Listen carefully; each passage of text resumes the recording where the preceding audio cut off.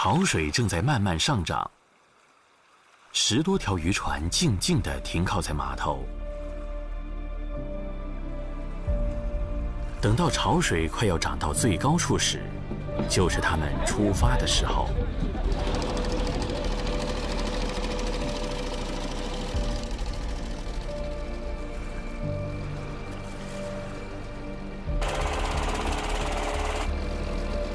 林波是黄山村的渔民，只不过他们捕捞的不是鱼，而是水母。啊，我们村捞海蜇，最早的时候，记着老人说，以前都是用木筏子出去打打这个海蜇，一颗木头绑在一块儿，那时候开始，一直到现在。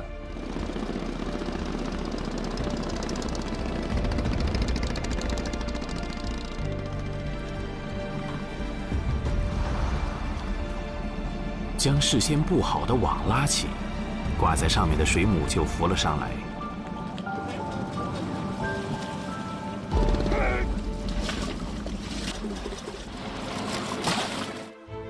这是世界上体型最大的水母之一，叫做沙海蜇。它们体型庞大，最长能达到两到三米，最重可达二百多千克。它是贪婪的捕食者，一天之内，它可以吃光一个大型游泳池里的浮游生物。除了浮游生物，它们还吃小鱼小虾，甚至同类。而且水母没有大脑，不知道饥饱，一生都在进食。所以水母爆发的地方，鱼类几乎没有生存的机会。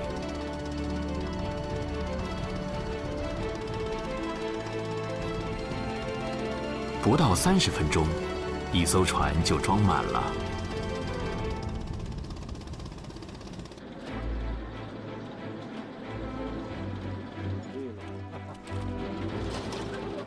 因为水母不同的部位有不同的用途，所以打捞上来后，人们就要马上对它进行处理。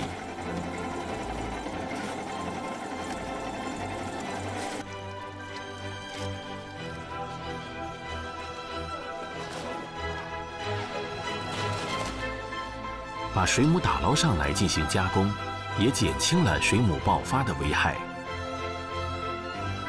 因为如果把它们杀死再扔回海里，会加速卵和精子的释放，繁殖出更多的后代。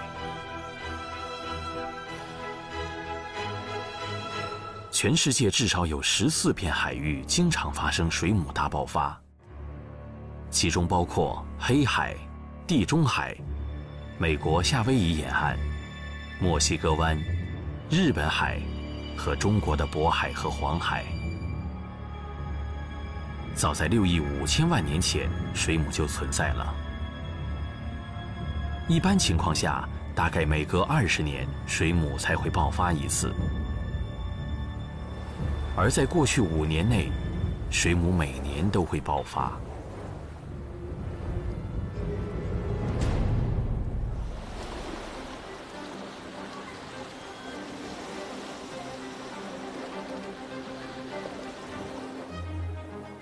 七月，中国黄海正处于休渔的季节。经过特殊批准的科考船出海了，他们正在开展一项叫做“水母计划”的研究。科学家们希望把水母作为一种载体，通过对它的研究，弄明白整个中国近海的生态系统发生了什么变化，未来会怎么变化。因为水母整个身体含水量很高，而且它是半透明的，所以无论是光学还是声学的仪器，都很难准确探测到它们。所以研究人员用渔网捕捞以及肉眼观察等原始手段，对水母的情况进行评估。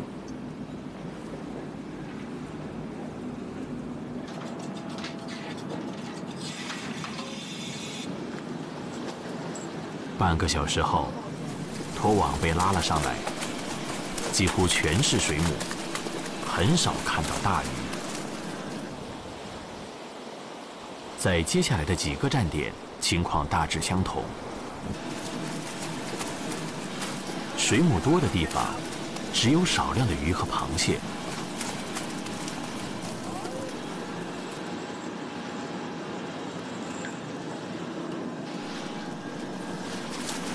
水母少的地方，鱼虾蟹才会多一些。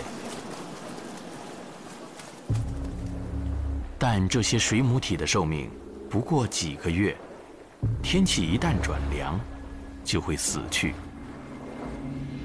是什么让它们在近几年连续爆发？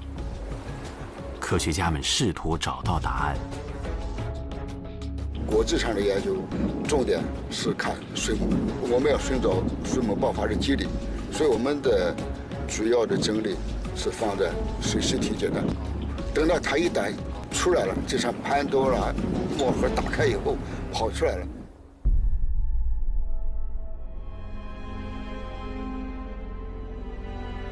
水螅体是水母的幼体，个头非常小。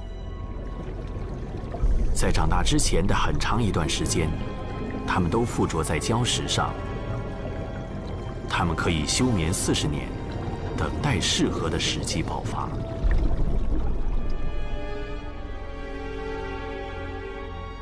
科学家们发现，水螅体具有惊人的繁殖能力，它可以进行无性繁殖。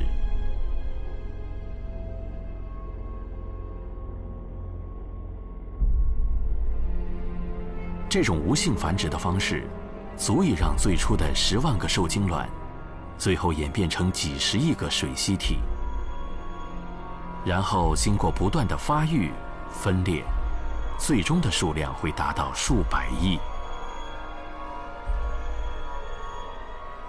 水螅体它有它自己的生活方式，就一些水螅体它可以横裂变成水母体，它到底是？水螅体它在水底下，还是产生水母体，温度非常关键。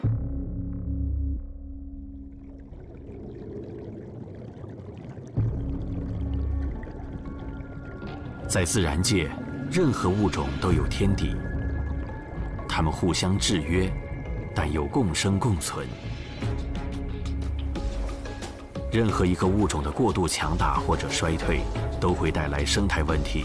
甚至是生态灾难。